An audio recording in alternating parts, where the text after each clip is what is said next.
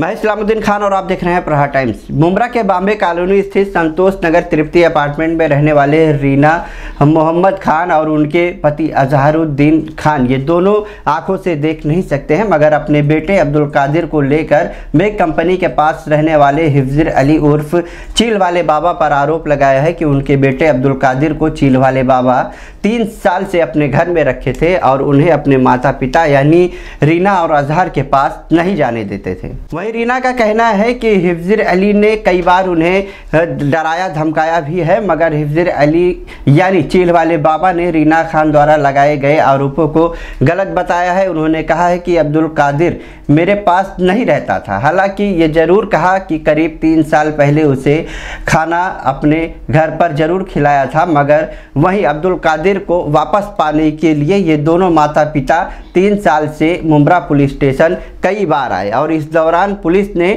कादिर को एक बार इन्हें सौंप भी दिया, मगर कादिर इनके पास रहा नहीं, वो फरार हो गया। अब्दुल कादिर खुद अपने माता पिता रीना खान, अजहरुद्दीन खान के पास नहीं जाना चाहता है, मगर कल फिर पुलिस के पास रीना और अजहर अपने बेटे कादिर को पाने के लिए मुमरा पुलिस स्टेशन में हिफ्जर अली के खिलाफ शिकायत लेकर पहुँचे, जिसके बाद अब्दुल कादिर को पुलिस स्टेशन बुलाया गया।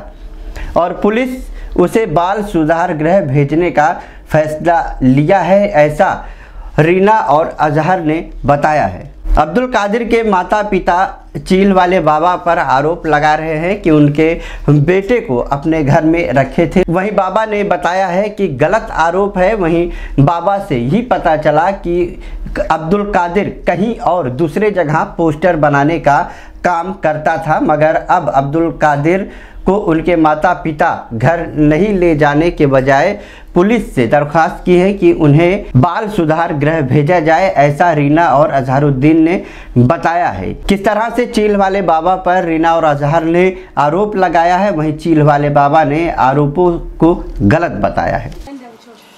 आपका बेटा जो है, आप लोगों से कितने साल से जो है, आप लोगों के साथ नहीं है और किसके पास रह रहा था? मेरी बेटा तीन साल से मेरे पास नहीं है और वो बाबा का पास जाके रह रहे हैं। बाबा कहाँ रहता था बाबा अपना मैक कंपनी के सामने रहता है। नहीं उधर ही है। क्यों नहीं आ रहा था? आपका बेटा आप लोगों के पास क्यों नहीं आ रहा? अब वो वजह तो हमको बता नहीं रहा कि हम क्यों नहीं आ रहे। वो सिर्फ़ एक ही जवाब बोलता है कि मैं इनको नहीं जानता हूँ।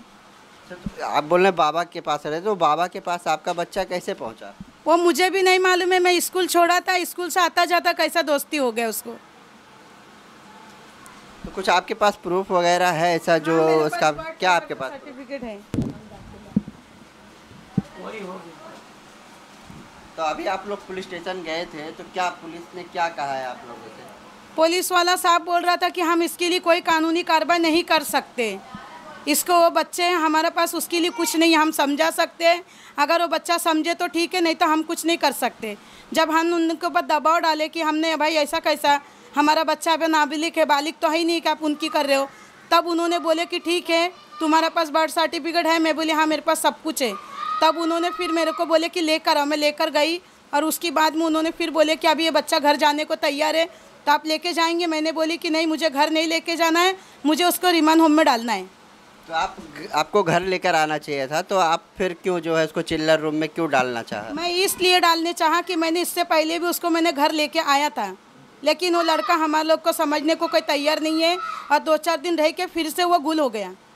तो हम ये नहीं चाहता कि फिर से वो गुल हो जाए और हमको फिर से ये परेशानी में डाले। बाबा क्या करता है? घर में से लड़के ले लेके मेरे घर पर भेज भेज के परेशान कर रहा था। मेरे आदमी को ट्रेन में भी लड़के लोग को भेज के मारवाने को कोशिश किया। मेरे गले में से सोने का चैन भी छीन के लेके गया है। कौन ले गया था? बाबा का लड़का ले गया था। और कितने मरतबा जब जब मेरे हस्बैंड घर में नहीं रहता था जब जब कितने मेरे दिन पहले की तीन साल पहले की बात है। और जब जब ये घर पे नहीं रहता था, मेरे घर में लड़के को ले लेकर घर पे आते रहता था। और कुछ ना कुछ बहाना बना के मेरे घर पे घुसने की कोशिश करता था, लेकिन वो, और बाबा देखो तो कभी भी मतलब हम लोग को ऐसा हुलपट्टी देते रहता था और बोलता है कि हमारे पास क्यों आया, हमने तो बुलाया नहीं है। और पुलिस वाला साहब बोलता है अभी भी पुलिस वाला यही बोला कि हम कुछ कर नहीं सकते। अच्छा तो तीन साल पहले से आपका बच्चा बाबा के पास रह रहा था तो फिर आप लोगों के पास आना चाह रहा है वो नहीं चाह रहा है? पहले तो आने चाह रहा नहीं था लेकिन अभी फ़िलहाल वो बोला हाँ तुम लोग अगर घर पे ले जाते हो तो मैं घर पे आने को तैयार हूँ। लेकिन मैं नहीं चाहती हूँ कि वो घर पे आके फिर से मुझे ये परेशानी में डाल के वो निकल के जाए और मैं कहाँ ढूंढूँ उसको? इसलिए मैं लाने नहीं चाहा मैंने उसको चिल्ला रूम में डाल दी। ये जो अब्दुल कादिर नाम का लड़का था तो ये आपके यहाँ रहता था कई सालों से? नहीं मेरे के नहीं रहता है।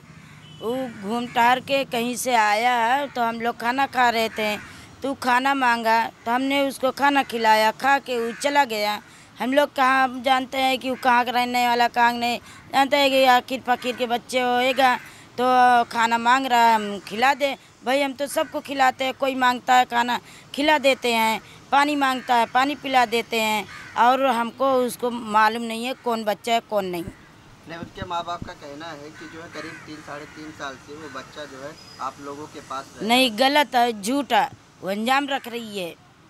झूठा है हम लोग नहीं जानते उसको। लोगों का कहना है कि जो है आप लोगों ने कभी उन लोगों को धमकी वगैरह भी दी नहीं नहीं गलत है गलत है। नहीं गलत है। हमारे भी बच्चे हैं का है हमारे खुद दस बारह बच्चे हैं तो हम कहाँ से का उसको रखेंगे? काहे के रखेंगे? दूसरे के औलाद के रख के क्या करेंगे? हमको तू बताओ बेटा। दो तीन दिन खाना खिलाने हमारे हमारे खुदे बच्चे हम आघा नहीं हम दूसरे बच्चे रख के क्या करेंगे? हम आपके पास नहीं नहीं मेरे पास नहीं था हूँ कभी नहीं था वो हम्म, नहीं, आते- आते मेरे- बस एक आध दो मेरे पास नहीं था। बस इसके अलावा बाकी और उसने अच्छा किसी आया था वो तो कितने साल पहले आपके यहाँ वो तीन उन साल हो रहा है तब की बात है वो अभी वो फिर अब वो जवान हो गया माशाल्लाह। अब वो अपने हाथ पैर का खुद हो गया। अब जहाँ रहता है वो उन लोग वो जाने बच्चा हम लोग का जाने? हम मलंग आदमी हमारे यहाँ जो भी आया खाया चला गया। तमाम बच्चे हैं इधर देखो ये लोग सब आते हैं खाते हैं चले जाते हैं। चील पली है हमारे यहाँ चील वाले बाबा बोलते हैं। ताज़ा तरीन खबरों के लिए हमारे YouTube चैनल को सब्सक्राइब करें और बेल आइकॉन दबाना ना भूलें।